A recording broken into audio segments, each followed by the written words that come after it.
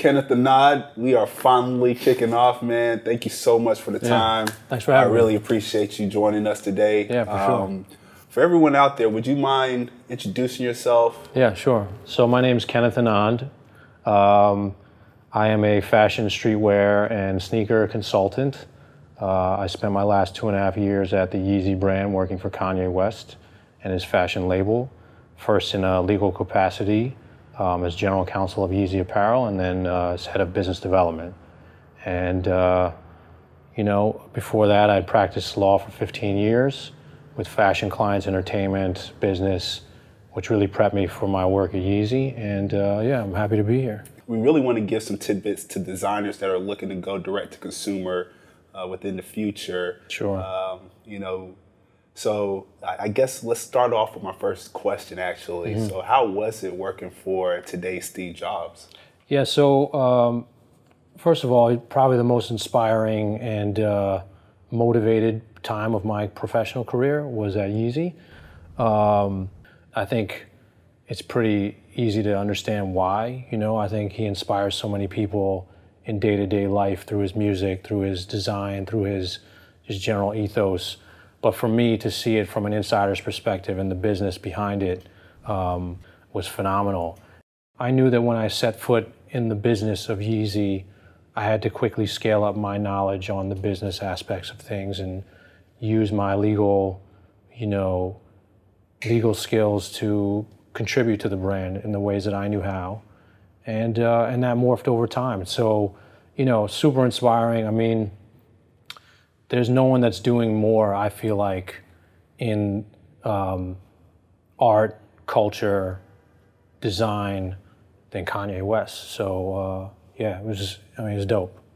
And it's it's amazing because I don't think any uh, warrior really saw or sees that trajectory to the position that you found yourself in. Yeah. Um, give us, you know, understanding of how you got there. Sure. Is it something that, from a young age, you always aspire to be? Yeah, it's interesting. I mean, my career has really come full circle in many ways. Um, when I was young, like in middle school and high school, I was really into hip hop music. I was really into hip hop culture, um, hip hop fashion. You know, middle school and high school years, all I wanted to do was be a music producer. You know, I was chopping up samples and like freestyling with my friends, and you know, I just I loved it. I fell in love with the culture, and so um, you know, I went to I went to uh, college thinking number one, I would get a college degree, but number two, I would continue producing and trying to make it in the music business. So in college, I had a I had a band that I produced for, and we used to play at frat parties. And What was the name of the band? Uh, it was called 200 Proof. 200 Proof. There Yeah, you go. Yeah, which is a slight nod to uh, alcohol abuse. um, yeah, so uh, you know that's what college kids did at the time. So it resonated. Um, but uh, but yeah, and so like just uh, you know learned the inside of a music studio. Um, I took classes on audio engineering. I actually got a dual degree in music and computers, along with a you know just general communications major. Wow. Um, and so, uh, so when I graduated, you know, my parents both having their PhDs, they were like, "What's next?" Yeah. You know, and I was like, "Well, I just graduated. Like, give me a chance to to figure it out." And so I moved back in with them, and I started taking meetings in the city to, you know, with record labels, and I realized how difficult it was to break into that business, um, even with the experience that I had.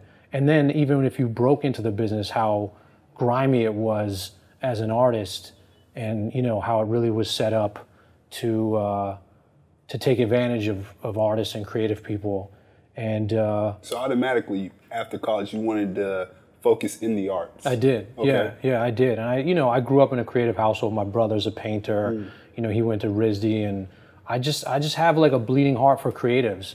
And so after struggling to make it in the music business and having some minor success, um, you know, I realized that my path and my strength was in supporting creatives like my brother, like other people like myself who were struggling in the business. And so I enrolled in law school and uh, I went to Brooklyn Law School to pursue a, a career in law. So, um, and you know, I remember just showing up the first day of school and like looking around and just my personal aesthetic was much different from the people that I was in class with. Yeah. Um, you know, I was just this, this, uh, you know, middle class kid that loved hip hop, and I was thrown in a very corporate and very homogenous world. So I showed up the first day of school wearing like, you know, a tracksuit, uh, a powder blue, you know, velour tracksuit, and uh, and I looked around. I was like, well, this isn't gonna fly for law school. Yeah. So I had to I had to change up a little bit and. Uh, Assimilate. yeah, yeah, and I think that that really prepared me for the corporate world and going into a law firm, and you know, and I feel comfortable, just as comfortable wearing a suit today as I do, um, you know, wearing sweats and sneakers. Uh, I prefer to wear sneakers and sweats, like you know, but I understand that there's roles for both, and if I'm going to be a boss in any industry, it's like you got to know how to move and shake. So. Uh, Yeah. so yeah, so that trajectory from law school um, into passing the bar and then going to get a traditional job at a law firm, which I did. Um, I practiced employment litigation first. I was a young associate at some um, very well-known employment law firms in the city, and I did uh, harassment, discrimination, um, you know, employment contracts, executive contracts, all of the things that really you need to know from an HR legal perspective which I didn't even know, but later on would become so valuable when I got to a company like Yeezy. Um, so I did that. Then in 09, I started my own law firm and I branched out and started focusing on employment clients, entertainment clients, intellectual property clients. My wife was an intellectual property attorney. She's a fashion lawyer. She actually helped teach me the things that I needed to know to bring in those clients and actually service them the right way. And so, uh, yeah, just like, um, you know, the growth just kept going and going to more of a generalist perspective for me. And what I mean by that is a lawyer who knows how to handle any legal matter for their business clients. Um, and if you can't handle it personally, you can refer it to other people in the firm that you're in. But you are the point contact for all of your clients' needs. And so that sort of really started helping me get the growth to be like, oh, well, maybe I can go work for a company. You know, and I started toying around with the idea, like I had practiced law for maybe 13, 14 years when I was like, what's next for me? You know, like I'm 38, I'm about to turn 39, I'm about to go into my 40s. And, uh, you know, I have this wealth of knowledge. And then I have my passions, you know, like I have the things that excite me the most. And I have my clients that do the things that really I'm passionate about, like sneakers, fashion, music. And, uh, and how do I mold a career for myself that's like, I'm doing what I'm good at, but I'm also working in a space that ignites my passion and my excitement. And so, uh, yeah, I just started focusing on those clients that were in those spaces for me. And uh, sure enough, one day I got a call from from a client of mine who was like, you know, Kanye wants to hire me as uh, one of his executives, and would you help me negotiate that deal? And and I was like, absolutely, I would love to. And so, um, you know, went back and forth negotiating that deal for him. And then, you know, he went to work there, and I was like, great, you know, I'm excited for him, but how do I how do I get in there? You know, Yeah. like how do I um, at least get into that uh, Kanye stratosphere because I love like I as a fan, like I just wanted to be a part of it. And uh, and he reached out to me, and you know, a few months later and said, you know, we have a lot of legal work that we need done, and can you help out with that? And I said, absolutely. And I started looking at you know, how I could help and what their needs were. And I, you know, I threw a Hail Mary out there and I was like, you know, I could do this work for you here at my law firm and I could save you money on what, you know, maybe you're being charged currently. Or you could just hire me and I'll come do everything legally for the for the company. And uh, you know, it was it was one of those things where it was like there's nothing there's no there's no harm in asking, right? Like the worst thing they'll say is, "Nah, like we don't have that role for you."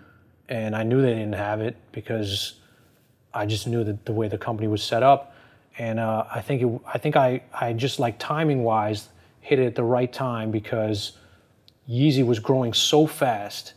What And year then- was this? This was 2017, early Okay. 2017, and uh, they were just in between seasons four and season five, and I was like, you know, let's see what happens. And they were growing so fast, and they had so many legal needs and operational needs that uh, you know it made sense. And so, you know, two weeks later, I had the job. I flew out to LA and I got to work. You know, so uh, so that's basically a, a quick overview of of how I landed. No, you know, it's perfect job. because it's interesting, and I would love to know how does it differ from owning your own firm to practicing inside of a Yeah. corporation like Yeezy. Yeah, so so it's very different. Obviously, number one, um, instead of having a multitude of clients that you got to take care of, I had one, right? So in some sense, the job got easier because I didn't have to focus on, you know, this company needs this thing done, or I have to be in court for this company today, or, you know, I have to negotiate a deal with like just all over the place. And that's really the skill of a partner who can manage multiple clients and make sure every one of them feels like they're being taken care of. This was I have to focus on one client, but when your client's Kanye West, like Yeah. you know, there's a lot to be done. And like this is a guy that knew that he was going to explode and um, was prepping his company for that explosion. So, you know, there were some things that were that were easier as a partner in a law firm, and some things that were easier at Yeezy. Like I didn't have to bill my time anymore. That's something that partners do, and it's really annoying. I was never really great at it. Um, and then like just handling the day to day of a growing fashion company and all the different personalities and and lines of business and but as I say, like 15 years practicing law in New York City, like that'll prepare you for some some serious work. So Prepare you for Kanye. yeah, yeah, yeah. Yeah, I don't know if anything can prepare you for Kanye, but yeah. But I felt I felt like I was ready.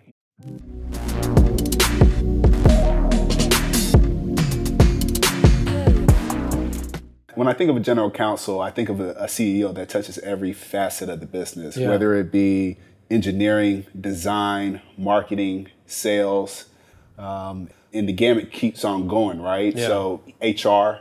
Yeah. So in, within that role, uh, was that your day to day at Yeezy? Yeah, very much so. And like you know, uh, Yeezy was still growing, so we didn't have every little role filled. You know, so there were times where you had to, just as any startup might, you know. And it's it's weird to think about Yeezy as a startup because you know Kanye had an infrastructure and a vision that like most startups don't have, like doors opening for you know just anything you would imagine being possible, we could we could make it happen.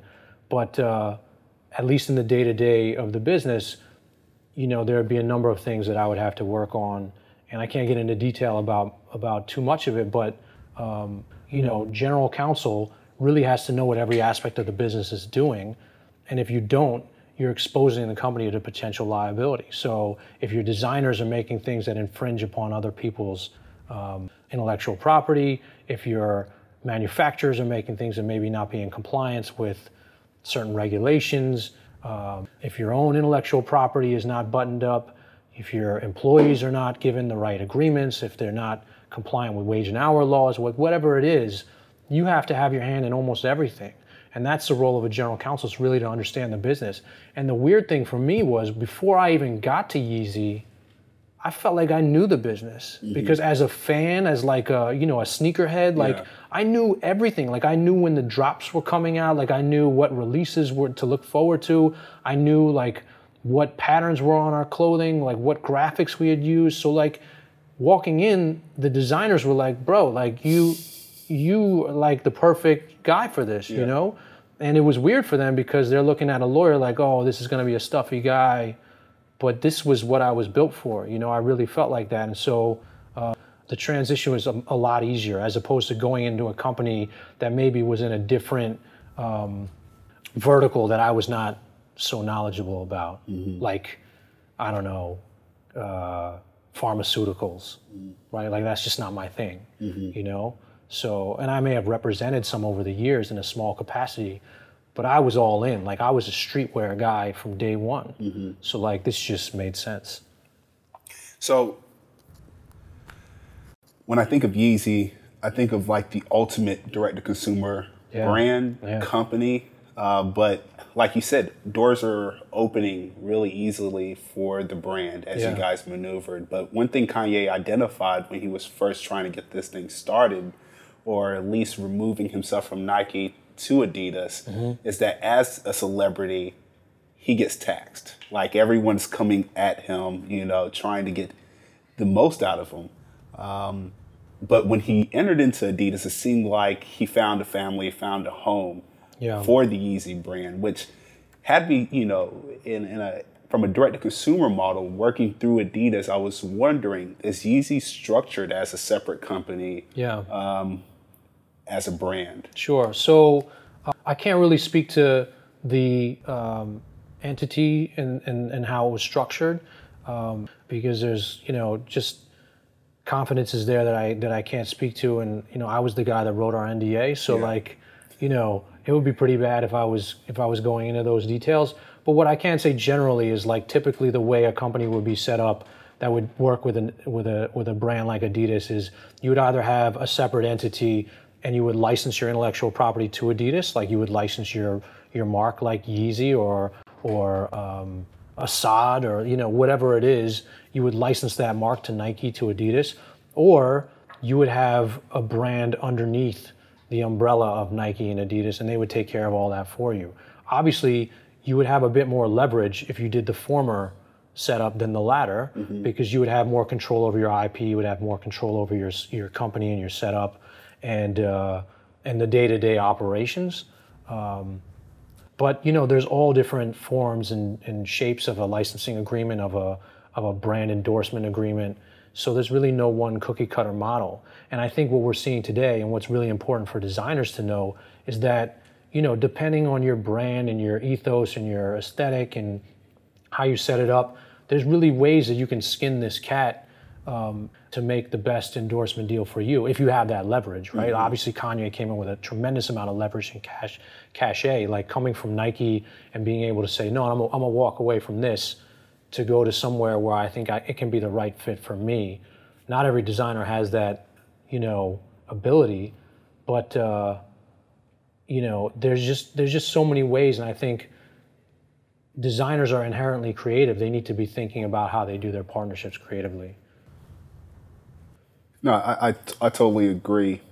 And, and I, that really speaks to the heart of the conversation today around how designers can start moving into a business minded uh, forefront in thinking direct to consumer.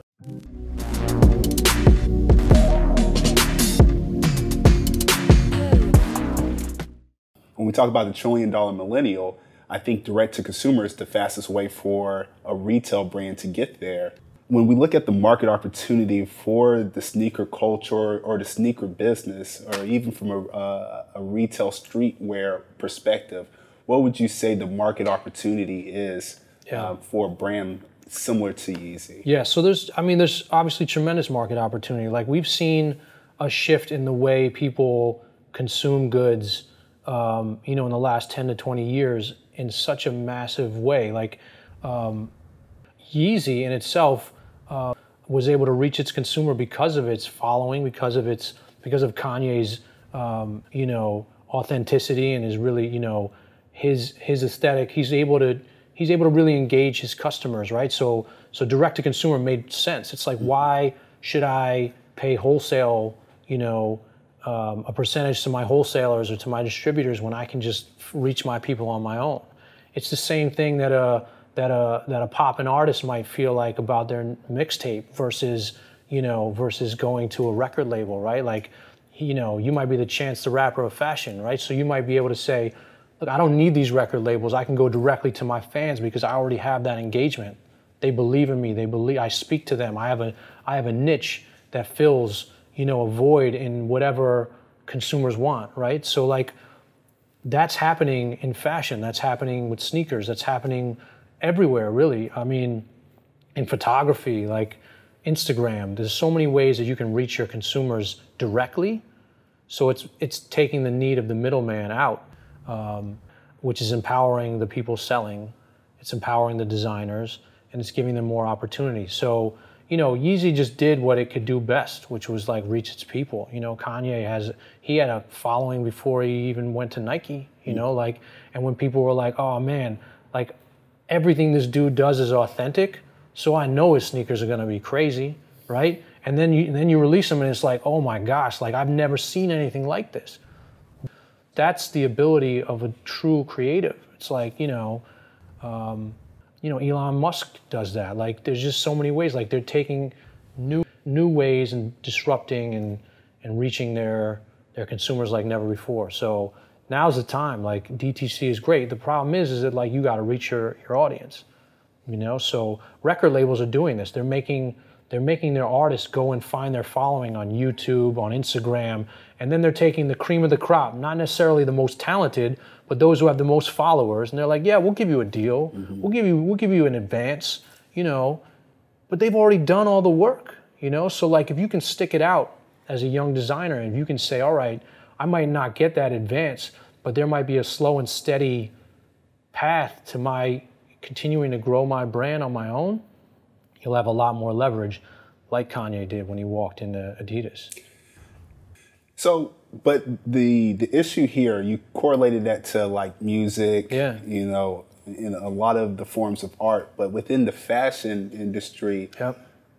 The law hasn't caught up for you to be able to protect your IP, and we'll get into that later yeah, on. Yeah. But uh, it's interested in me It's very similar from within the music realm, yeah. within um, other industries, but it seems like fashion is still dated from It the is. U.S. perspective on on the legal legalities around it. Yeah, and I think you know the IP laws are somewhat broadening to cover more protection for designers. The problem is that they're protecting the huge conglomerates that have released, you know, um, a multitude of of products that look the same. You know, so a young designer who has something that's really hot and really novel cannot get the same protection as like Nike that owns Converse and has a you know a historical and iconic silhouette like the Converse All Star. You know, like there's recent laws that have that have protected that silhouette in ways like never before, right? So like people used to come out with like a a fake Chuck Taylor, you know, like I don't know. Um, you Even know, Bape, if yeah, you look at it, yeah, they took the Air. Force One and just changed the check. Exactly. So we're seeing more, we're seeing broadened protection for those kinds of trade dress or like silhouettes and like, um, you know, other unmistakable iconic looks, like the red bottom on a Louboutin shoe, um, things like that. But, but the young designers who haven't proven themselves that are coming out with the hottest ideas that these big brands are copying, they have no protection you know and it's even in the luxury houses that are coming out with like hot couture looks and like um, things that are so wild and, and, and really blur the line between a utilitarian aspect of just like a piece of clothing and like art right and, and things that should be protected by intellectual property laws you know there's there's nothing like that yet and it's a topic actually that's pretty near and dear to my heart because my wife is a fashion attorney and when she graduated law school she wrote an article um, called Style Piracy Revisited, and her, she was proposing that designers should have some limited time frame, like maybe six months or a year, like the life the lifespan of a collection in the fashion world, of a limited protection to say, this is what I'm doing that's so new. Give me some time to like let my design breathe and make some money, and then you can copy it Yeah. instead of the fast fashion model, which is like Kanye releases a dope Yeezy sweatshirt and then whoever, I don't want to name names, but like whoever will have it on the shelves tomorrow or will have it on their website. And that's frustrating because like I spent all this time, not me, but you know, I, the designer, spent all this time, you know, coming up with this amazing new look and the next day it's gone and somebody else can buy it for the you know a quarter of the price. And it's frustrating. So like i do think intellectual property laws in the united states needs to catch up with that a little bit um, because there's so much innovation there. Will it? I don't know because the united states still looks at a piece of clothing as just a garment. Yeah. they don't look at it the same way we do like your you know your plaid pants which are dope and you know match with your you know your inertia v2s like there's something about that. Like Yeah. Wouldn't it be dope if you could protect this look for a hot minute like you know no one else Yeah, and and when you bring up Chance the Rapper, you know, as one of the staples of going independent within Yeah, the music yeah. industry, I start going back and thinking within the fashion realm. How can a fashion or, or designer go independent? Is that them protecting their IP? Yeah. And what is the equity of that IP? You know, I think I think a designer's IP is really their their minds, right? The creative mind that they have. I think that's the way they should look at it. Like Kanye was never really threatened by people coming in and copying it because he knew he'd create more amazing um, inventions, ideas, designs, and that's for anybody, right? So like, why would why would an artist give their mixtape to the public for free? Because they want the people to have it. It's like art, right? Like give it away, and and the money will come.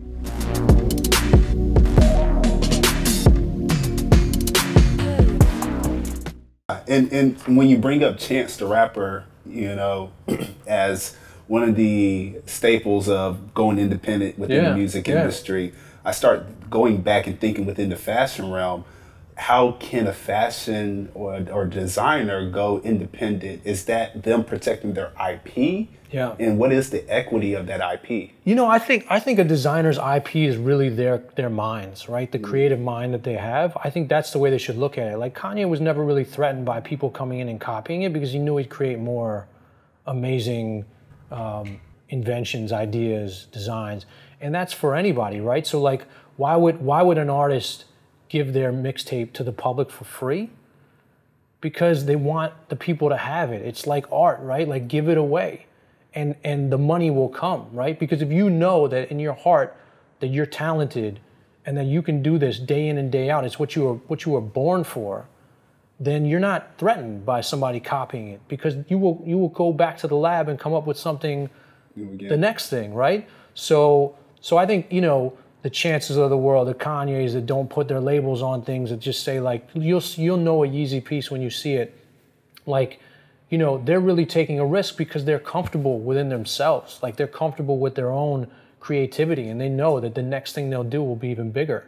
So when chance dropped two mixtapes no label and then apple came to him and said you know we want you to do coloring book you know and i keep talking about chance because it's like the perfect model for a designer it's like Yeah. yo like put your stuff out there and get known mm-hmm. and then make h&m come to you make uniqlo come to you make you know tommy hilfiger come to you and become the creative director and put your mark on that and don't worry about the end of that because you're going to go on and do the next thing and the next thing So Kenneth, are you seeing that happen happening for designers specifically Absolutely. off of Instagram? Yeah, I mean Instagram for sure. Like I, I follow some really popping pages that are like these are young designers that are making some things that like frankly I as a 43 year old might not wear, but I see that they're like on the edge. And these kids are wearing the hottest stuff. That's streetwear at its finest, right? It's not like we never we never tried to appeal to the masses. Like we tried to build something that like spoke to us and our culture, which was subculture almost. It was like we're not even trying to do what you're doing. So like when one when one designer goes this way, we go that way, right? When they go hot, low, we go high. Yeah, right, right, right. Or like you know, if skinny jeans are popping, we're gonna we're gonna go back to the baggiest fit. Like whatever it is, it's like that's that's what streetwear is about. That's what the subculture is about. So as long as these young kids have their finger on that pulse, they shouldn't be threatened. Like they should know that like they're the next. The problem is that they need money, they need validation, they need that because they want to know that the art that they're that they're creating is right. That's the hardest part for an artist is to go back to your studio and create and be like, man, nobody's seen this yet. I know how dope this is, but nobody's seen it. Like so Instagram is giving designers that opportunity. It's like I just made something and I'll put it out and then like somebody can walk walk down the street during fashion week and you're like, damn, what is that? Yeah. you know and there are some there are some kids out there photographers that are they're they're capturing this. Like they know. And then you're like man what is that? And the next the next year they're on the runway. It's that fast like you know and we see it happen with like with like virgil you know like from pyrex to off-white to, to louis vuitton to ikea to to evian like whatever. He's putting his stamp on everything Yeah. you know? So like this is the time. And, and, and the creative people that have that power but they have to believe in themselves right and they have to get other people to believe in themselves which is hard So, with that, right, I, I look at Allbirds. It may not be a streetwear uh, but it's a, a sneaker wear or a sneaker company that goes direct to consumer. Yeah. And similar to Yeezy, these guys have jumped zero to a billion within what three to five years. So you you said something for these Instagram designers as far as they need money, they need uh, infrastructure. Is it the VC uh, the firms that are going to establish that trajectory for a jump, or what is it that allows these companies that are starting direct to consumer, starting off of a website, to be Yeah. able to scale? Yeah. So I mean, I think it's tough. You know, I, I think we're seeing um, we're seeing a shift. Like you know, the Carlyle Group just invested in Supreme. Um, you know, Farfetch is buying up NGG Group and and Stadium Goods, and you know, so there are there are companies out there that know like what will continue to keep them relevant. And so I think if you're a designer and you're scaling your brand, and you know somebody catches an eye, there's there's more of a possibility today that uh, that that these VC brands and these um, you know private equity firms they they may invest in you. I think it's certainly um, a better chance today than before. It's just still hard to convince the suits that like you know you got your finger on it because they don't know what the, they don't know. They have to be told that. Yeah. That's why we have brand agencies. They're like, you know, they'll connect, you know, I don't know, um, I don't know, Coca-Cola with with the hottest designer to, to do a new can or to like do a brand activation or party or they'll connect some DJ with like McDonald's or, you know like they need that. They need to stay relevant while still preserving their core values right? So um, so there'll always be that need right? There'll always be that need and that's why the designers have to know that they have the power. They don't control the marketplace but they have the power and so they have to figure out how to stay um, stay relevant and stay true to themselves while growing and, and getting those investments to, to, to bring in money to do what they want.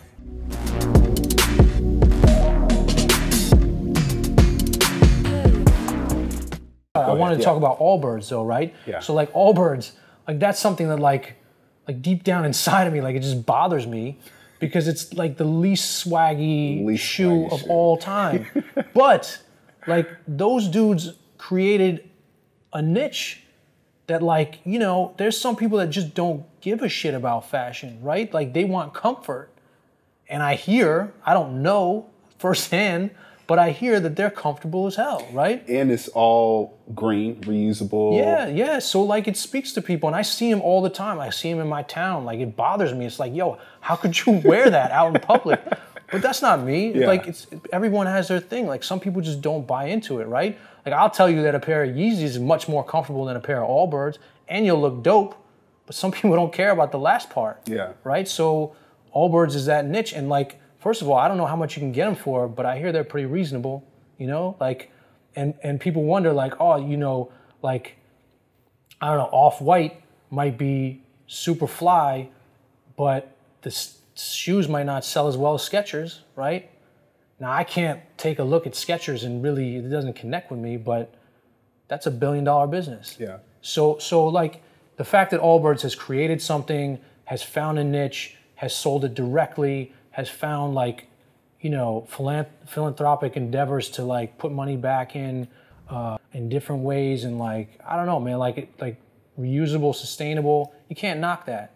And if you're a designer that you got something dope like that, and maybe it's not, you know, maybe it's not got the juice like a Yeezy or like uh, you know, um, whatever else, you know, like uh, Virgil off white or you know, you're still a designer. Yeah. You know, somebody designed that shoe and it sold a lot, you know? So I can't knock it, man. Like there's a there's a path for everybody. And I think that's what a good designer does is find their niche. Like somebody who's super utilitarian, super like um, good at product design and, and like comfort and all that, they put that together. So and they're they're winning. You know? So yeah, so that's the Allbirds model. Winning. Yeah, yeah, yeah. They're not. They they sleep at night, right? Yeah, they sleep They're not well. worried They about. sleep well. They're not worried about being the hottest thing out there. No. And you know, so when we talk about the Allbirds model, when we talk about the Virgil model, Yeah. well, those are two separate models, right? Sure. From a Virgil standpoint, it seemed like he built equity co-branding with other brands, like you said earlier, Yeah. to the standpoint that that built his brand. Yeah. For Allbirds, they just built a channel direct to their customer Yeah. and based that off of a, a mission. Yeah. Um, Now, both of them gained equity Yeah. um, as far as brand e- equity. Sure. But how? My question really is: Do you see do you see an ability to quantify brand equity from a, a data perspective, from a digital perspective? Yeah. So I When think we it, talk about those suits that are that don't know, Yeah. how can a, a, a designer or a brand yeah. show it? So I think nowadays the way to show your brand equity is through um, engagement, you know, through Instagram, through followers, through click throughs. You know, um, there is a lot of data out there. I think it's really hard to put your finger data wise on the pulse of what's really trendy, what's really hot, and companies have struggled with it for for decades, right? Um, you know, if you're a company like Allbirds, it's it's just about sales, right? It's about sales and like you know those reviews when people say this is the most comfortable shoe I've ever worn. That's what they're going for. You know, you got somebody like Virgil. His sole mission is to make anything, any product that you can imagine look doper, mm-hmm. right? And that's sort of the, the Kanye Donda like house perspective. Like that's where they were born out of. Like the way Kanye and Virgil looked at life was like, why does this shit look so whack? Like why why can't this product look better? You know, like why is there not a low top shoe that looks doper than the Roshe? Like whatever it is.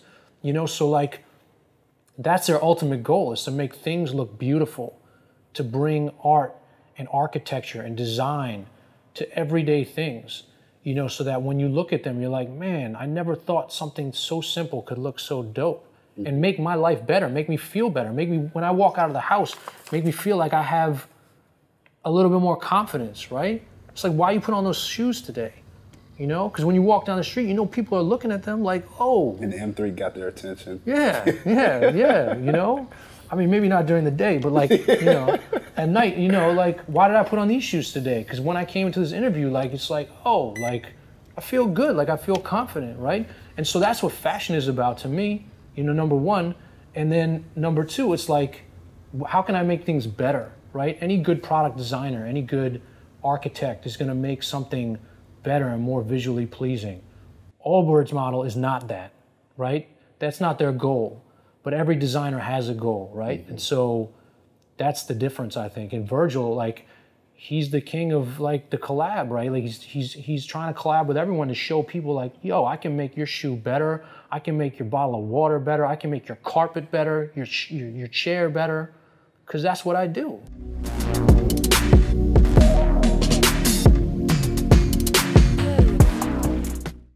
So even with the Virgil uh, example, Yeah. right, and his co-branding with multiple companies like IKEA making their chairs better, Yeah. uh, water bottles making, uh, you know, water feel better in your hand, Cooler, whatever, yeah. whatever it is. Yeah.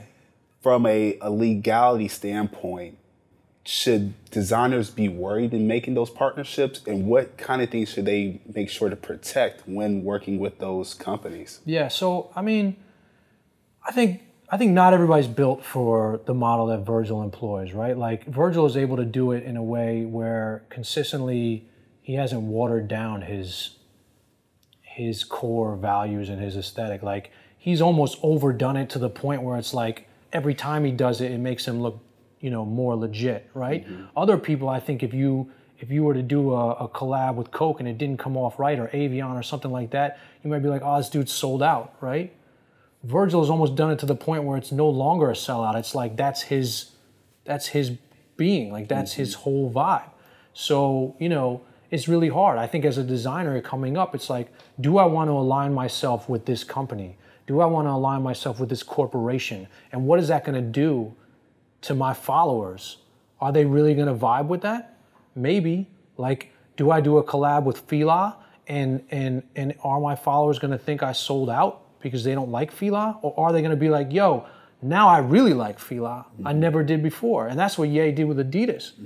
To be honest with you, I never wore Adidas before Ye walked in the door. I just didn't. Like I grew up in New Checks Jersey. over stripes. I mean, I won't say that on camera, but um, you know, I was a Nike head. You know, I grew up with Nasty Nas. Like, you know, that's what we wore where I was from. I got friends in Boston, like they were all day Adidas. They would never wear Nike. So, um, but when Ye walked in the door, it was like, oh shit, like now. And then I started looking at Ultra Boost, and I was like, man, that's a pretty dope shoe.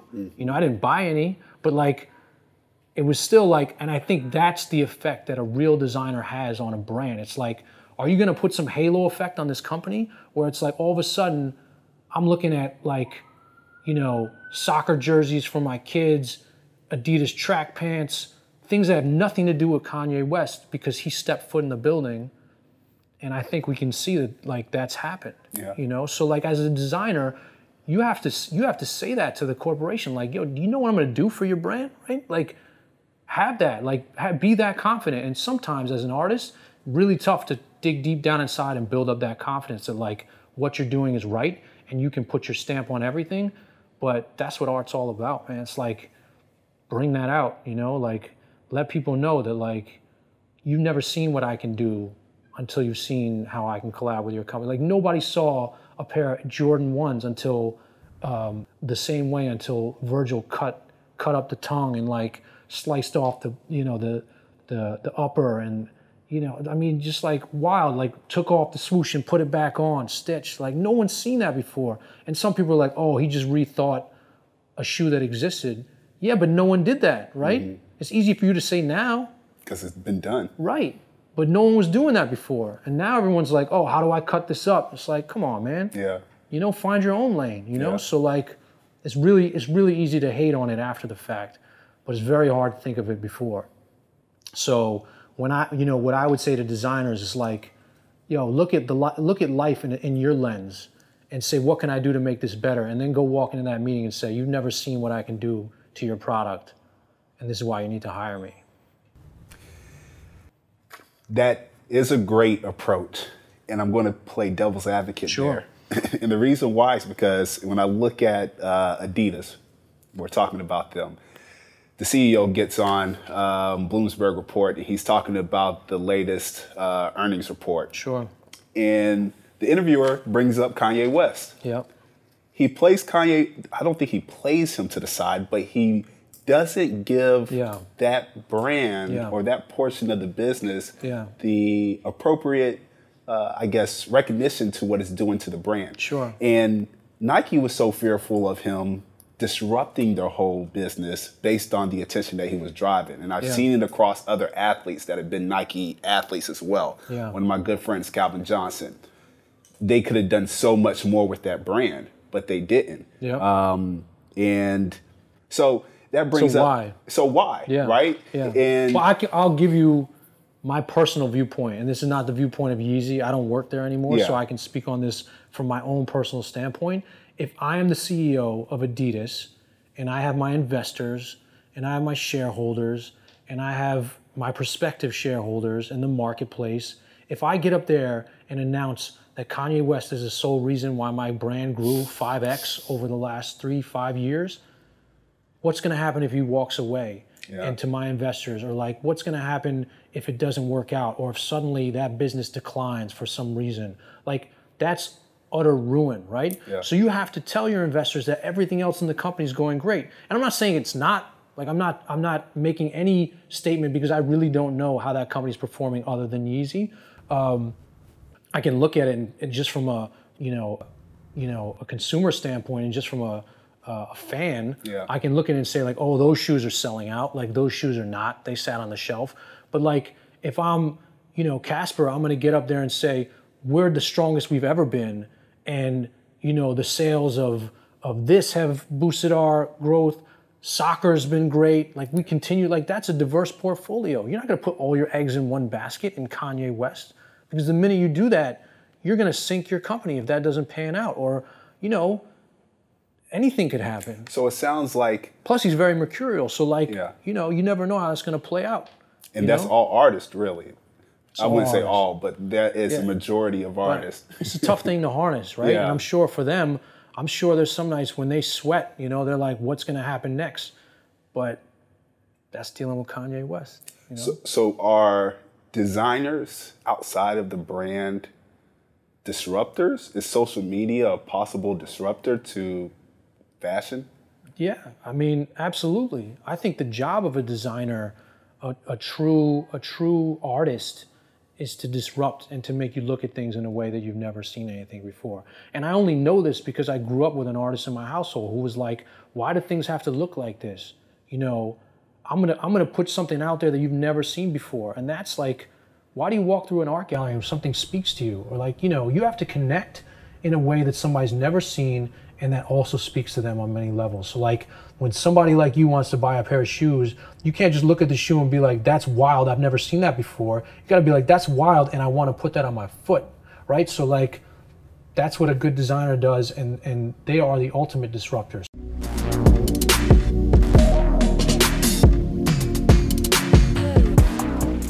You know, I think designers are unique in the sense that sometimes they have to depend on brands to, as I said before, validate them, put them on the map, bring in money. You know, um, we're at a time when there's like hundreds of thousands of, of young people out there, young and old, that are creating new models for everything, whether it's a taxi cab, whether it's a scooter, whether it's, you know, uh, a bed and breakfast. You know, they're disrupting everything, right? And so people are either saying, I can take an existing model and change it and make something new by starting a new company, or they're saying, I have to go talk to this company and talk to them about how to reimagine their existing one, right?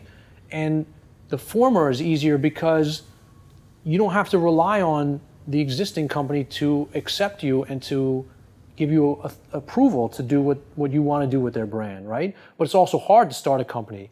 The latter, which is the disruption of an existing brand or company, is almost easier because you're saying your infrastructure exists. I'm going to come in and I'm going to do something new, but I'm not going to touch what you're doing here that's always been working, right? And let's see how it works. And many companies are reticent to do that, and the ones that are embracing that and can move with that are the ones that win, you know? But also, it's hard to tell a company that's been around for a century or less, you know, maybe decades, to like do th- do things differently when they've been perfectly comfortable all along, right? We even have more disruption coming to to fashion brands. Absolutely. Uh, as far as sustainability, Yep. as far as green energy, Yep. and um, Adidas just made that announcement. I think it was like what 2025. Yeah, ocean be- plastics. Yes. Yeah. So All their shoes will be made with ocean plastics. Yeah, I don't even I don't know if they said entirely or at least some component will be made with ocean plastics by Yeah. that year. yeah, Yeah, it's great. I, I, mean, think it's, great. I think it's fantastic. It's part of the Parley Initiative, which uh, you know. Parley it- initiative. Yeah, Can you Parley. explain that to us? I can't really. It's fine. Um, you know, I, I wish I knew more about it, but I, I just know that the Adidas Parley um, collaboration is one based on sustainability. Okay. And uh, they've found ways to use recycled materials in their shoes, and they're doing it more and more. And Adidas is trying to find ways, at least publicly have announced that they're trying to find ways and have found ways to, to bring more of that in. And I think it's great because fashion in general is a, is a business of excess and waste. And, um, you know, you have luxury brands that um, when they don't sell through a particular item, they'll burn it, you know? And not only is that terrible for, um, you know, waste, but it's terrible for the environment, the ozone layer, and the chemicals that are released into the atmosphere. And I know that there are more um, technologically savvy ways to incinerate goods and deal with the um, chemical and waste like that, but it's still harmful to our environment. And we, we produce so much product that never sells and is wasted and, and incinerated. And, you know, the more recycled materials that we can use, obviously, the better. Um, you know, I don't know enough about sustainability to speak on it, um, but uh, it's definitely an, an area where we need to explore. Yeah, and, and I don't know that much either, but I see two opportunities out of that. Um, and hopefully you can correct me if I'm wrong here. But from a design designer perspective, I would think that that is a, uh, even a, a larger opportunity for them being that they're able to patent a new form Mm. of uh, material and reuse material that would have been considered waste and cut cost on Sure. on on product or materials. Sure. I, I know that there that there are some um, utility patents on how to reimagine or reuse um, fabric, how to break it down, how to break down plastics, rubber, and and and make them into garments and malleable pieces of clothing. Uh, you know, I don't know much about it, but I do know that there's always innovation there. And I think you know people are using hemp and plants to to make garments. That I mean, that's been around for a while, but they're doing it in ways that's not as crunchy as, Yeah. it, as it used to be. Yeah. Um, yeah. You know, and, and and you could probably make the same sweatshirt I have on with hemp, and you wouldn't be able to tell the difference. Um, but uh, but yeah, I think it's someplace that we need to grow, and I think the millennial specifically is much more in tune to this than ever. And I think um, you know some of the older generations don't give them enough credit for being socially conscious and like you know on top of things, and they are more than more than any other generation concerned with that. And I think that there are studies that show that if there's sustainability, if there's some social impact to your brand, millennials are much more likely to invest their money in it. And so I think the designers that are doing that are engaging their core fan base and their core consumer in a way that some of these older brands may not. And like they're gonna be the dinosaurs and they're gonna get pushed out while new brands come in and say, this is not right. We're not we're not we're hurting our environment. Like we can't keep doing this. You know? And speaking of the dinosaurs, like we always say, it's hard to move a large ship, right? Correct. So, from a distribution standpoint or a production standpoint, sustainability will change manufacturing for Sure. these large companies as well. Sure. If I look at 3D printing, that even allows designers to have more of a production in house. Correct. Um, Correct. Although I think 3D printing, like you know, is creating a lot of plastic waste. You know, Yes. um, it, people are experimenting in their home with like 3D printing, uh, and I think you know sometimes they're not getting it right, or that you know, I've messed up a couple of times. yeah, yeah, and like you know, my son has 3 3D printed a lot of stuff at school and like at summer camps, and like he comes back with this wacky piece of plastic, and like we just toss in the garbage, right? Yeah. So. Uh, uh, I'm sorry if my kids are watching this and um, they know I threw out their artwork, but um, but yeah, like I, I think I think uh, with any aspect of technology, we're getting much more granular and the ability to do things at home. Like we have technology in this room right now that's filming this podcast that didn't exist 10 years ago, and it's very easy for a, for a single person to buy that technology and produce a professional quality production.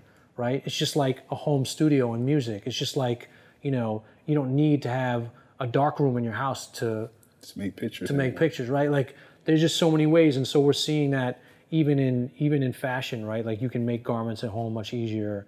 Um, there's the technology. You can make you could probably make a shoe, you know, um, easier than you could. You know, you don't need a whole factory.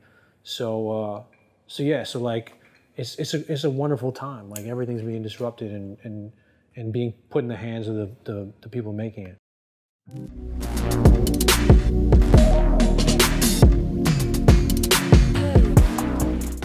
With any aspect of technology, we're getting much more granular and the ability to do things at home. Like we have technology in this room right now that's filming this podcast that didn't exist 10 years ago. And it's very easy for a, for a single person to buy that technology and produce a professional quality production, right? It's just like a home studio in music. It's just like, you know, you don't need to have a dark room in your house to To make pictures. to make pictures, right? Like there's just so many ways, and so we're seeing that even in even in fashion, right? Like you can make garments at home much easier.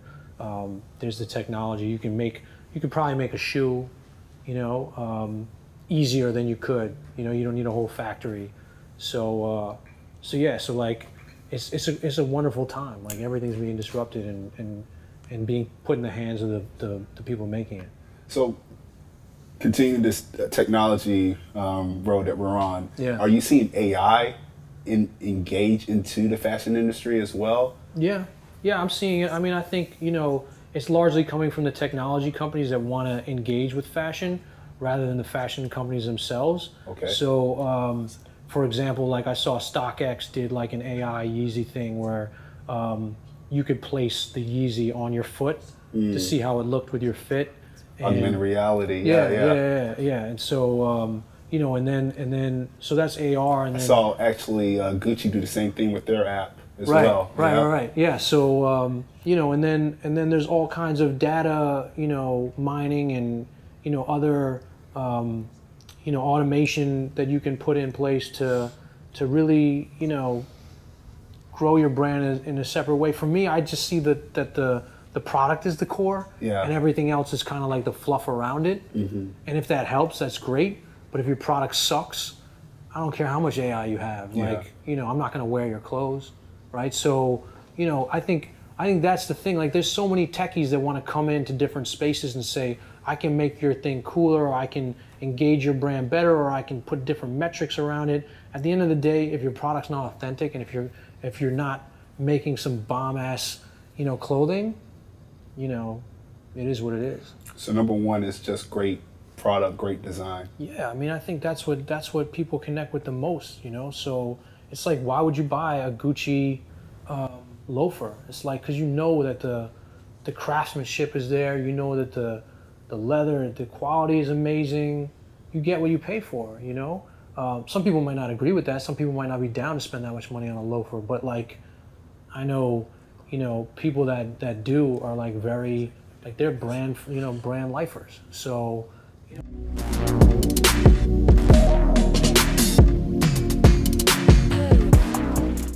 This is really helpful for a young designer to know. It's like, you know, Kanye Kanye's always said, and this is public, this is not anything like, you know, secret, but Kanye's always said that more designers, more artists should have less managers and agents who just take their cut and more CEOs, heads of business development who actually bring revenue to the table, who bring something, who offer chance for growth as a brand, right? If you are a celebrity and you have a brand, like most celebrities do, every celebrity wants to create their brand, right? It's like, you know, your brand might just be like you're a damn good actor, right?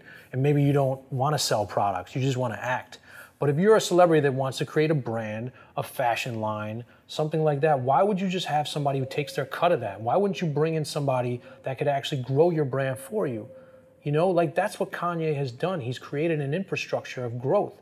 And that's what more people need to do. And that's why you see people like, you know, I don't know if it's, it's Virgil who just aligns with the dopest lawyer, like can get his deals done. Like surround yourself with people that are going to grow your brand, right? So like that's what celebrities need to do, in my opinion, and that's what I want to do going forward with my career. Is like you know support creatives to build their brand in ways that that's authentic to them and show them that like these deals can be done the right way. So like, what do you need? You need a good lawyer. You need a good CEO. You need a good um, every every every celebrity should look at themselves as a business. It's like Jay Z said, you know, I'm not a businessman. I'm a businessman. Like you know, that's he knew that from day one. Mm-hmm. He's not the one running everything. He has many different businesses that are all run by different people that he trusts implicitly, like people that he grew up with. And then he's brought in other people with talent. You know, I'm sure he has lawyers on staff. I'm sure he has business development people. I'm sure he has agents for Roc Nation. Like that's what you need to be looking at, right? So that's basically that's basically the model. It's like Kanye's always said that. He's like, man, like, you know, I need a CEO. I need a CEO to grow my business. I need a I need a business development guy. Like, you know, and uh, and more artists need to think this way. They need to stop saying like, you know, my manager is just gonna like, you know, manage the stuff that I do. You know, all right, yeah, you can do a lot because you're the artist, but it's tiring. Like it's you know, it it, it wears you down to be like, I got to do everything. Why isn't my CEO bringing in business? Why isn't my sales guy, you know, out there selling my merch? You know, like artists always have to do things on their own because it's just it's just the life, man. It's like so hard to be an artist because people don't believe in you, right? So they have to do everything themselves. They need to start surrounding themselves with people that believe in them and can add to the puzzle, can add to the to the brand, right? And the next thing you know, you've grown a conglom- you know a conglomerate that's like it's untouchable. It's like I don't have to go call McDonald's anymore. I got my own business, you know? So we're talking about building infrastructure with empathy. Yes. That's the, that's the way I'd like to do it. Yeah. That's the way I believe it because I empathize with every creative person that's out there. I know the struggle. I know how hard it is, right? Like it's it's it's it's it's a it's a grind, you know, and like um, a lot of people don't empathize with artists because they don't understand them. People look at them like you're you're a freak. Like you know, why are you dressing this way? Why are you wearing your hair this way? Why are you why are you rapping this way? Like I don't understand it, you know. But most art is not understood until years later, you know. But these are the people that are paving the way, and then they get, you know, um, like leached off of until like you know. That's why we got Uniqlo collaborations with Basquiat. It's like man, nobody was checking for Basquiat when he was out there. People were looking at him like he's crazy, Yeah. you know. Yeah. Thought he was a madman, and it drove him to death, you know. Yeah. So like. We got to stop doing that. We got to put infrastructure around the artists and realize that these are the people that are really they have their finger on the pulse of everything. They just don't have the infrastructure to grow because they don't know it. That's why I went back to business school after practicing law for 15 years. It's like, yo, how can I be a more valuable asset to artists and creative people? Because they need to know, like, they don't have that. They don't have that structure in their brain to be CEOs yet, Yeah. but they can be taught that Yeah. you know and maybe maybe like the 10% that they spend on running their business is enough and they have other people around them. But if they don't know that they continue to get taken advantage of by people that just want to suck money out of them because they draw all the income. They, they bring it in because they got the swag they got the juice they got the art creativeness like everything. And somebody comes around and is like yeah i can help you. It's going to cost you 25% it's going to cost you 40% for this deal. The next thing you know, they're getting screwed, right? So like, just just more about like helping, you know, like that's that's the way it should be. And, and that's the main reason why we're doing this interview, right? We want to help the designers, Yeah. specifically from a millennial's perspective, because I do believe that the transformation is here through direct to consumer, and the fastest way to uh, moving your brand is by creating empathy or having empathy, creating equity with your customers, um, and and it's setting up the infrastructure to allow that to happen in an organic way. Right. Um, so, you know, Kenneth, I, I really appreciate your time, man. Yeah, um. I don't want to take too much of it. I know I already did today, but all good. before we end, you know, I just want to kind of ask you um, if there's anything else you would like to share uh, with our audience based on the premise of what we've been talking about today. Yeah, I just think, um, you know, for me, I've had enough years in this game and doing a bunch of different things to like, you know, really be able to say that if there's something that you're passionate about as a young designer, entrepreneur, or whatever, like you have to go after it. You can't be, you can't be, you know, deterred because it didn't work out the first time or or the second time or the third time. Like, you know, life is about failure. Like you gotta, you gotta, you gotta learn from it. You gotta grow from it. I try to teach that to my kids. It's like you didn't make the team this year, but you try hard. You come back next year. You make it next year. It doesn't mean that you weren't worthy. It doesn't mean that you weren't, you know, you didn't have the skill set. It's just about the grind, right? Like most of the people give up early. You know, like anybody who follows Gary Vee on on like Instagram or Facebook or LinkedIn is like that dude is like giving nuggets every day. It's just like it doesn't make him more talented. It just makes him more resilient and more like you know willing to to not stop. And so like for me, that's what the growth has been. And I got sidetracked for a while, but not really sidetracked in the sense that I wasn't doing what I loved. It was just like I was building something that enabled me to pivot and go help people in the way that I can now. So I'm a savvy lawyer now. I'm a savvy business dude, and like you know, I have that ability to help. As a designer, don't ever feel sidetracked because you're not doing exactly what you want to do. Think about what you're doing now and how it contributes to you as an individual so that when you get there, you have much more of a skill set, you have much more, um, you know, confidence or ability to move. And so, you know, it's like it's like when when Ye was working at the Gap, you know, he was selling retail. Who would have thought that years later that would help him when he was selling his own clothes, right? But he's working at the Gap at the time and thinking maybe this is not where I need to be in my life. But years later, it's like, yo, I should be running the Gap, you know. So like, life is about twists and turns, and there's no telling. Like I try to tell the young kids, like I speak at law schools all the time, and I say, you know, don't get discouraged because your first job might not be exactly what you want. Don't get discouraged because you're a young designer and you know, you didn't get your brand off the ground immediately. Like think about the path and like what you're doing to grow to get to where you want to be. Like I'm 43 years old, loving life right now and doing exactly what I wanted to do, and it wasn't always like that. So, you know, just don't get discouraged and keep pushing. Awesome, man. So what's yeah. what's next for you, and um, how can our audience keep in contact with you? Yeah, sure. So. Um, well, I'll answer the second question first, which is a little bit easier. Um, you know, you can hit me up on LinkedIn or I'm on Instagram if you search me. Um, yeah, I I, uh, I, try to be as good as possible responding to LinkedIn. Uh, I get like 100 ads a day. It's, it's getting a little out of control. Um, but, but, you do respond, and I, I will put that shout out to you because yeah, I really yeah. appreciate yeah, you. Yeah, yeah, I try to. I try to, especially if somebody's persistent and like has something that connects. You know, um, but what am I doing now? I mean, you know, I'm just trying to stay in the fields that I'm that I'm most excited about, which is fashion, streetwear, sneakers, and there's a couple things on the horizon that uh, you know hopefully will pan out soon. But I don't want to speak on them yet. So awesome, man. Um, yeah, stay tuned, man. No, definitely we will be. Yeah, for sure. And uh, Hey, again, thank you for the time. Yeah, man. Likewise. Really appreciate yeah, it. It's a pleasure. Yeah, same here.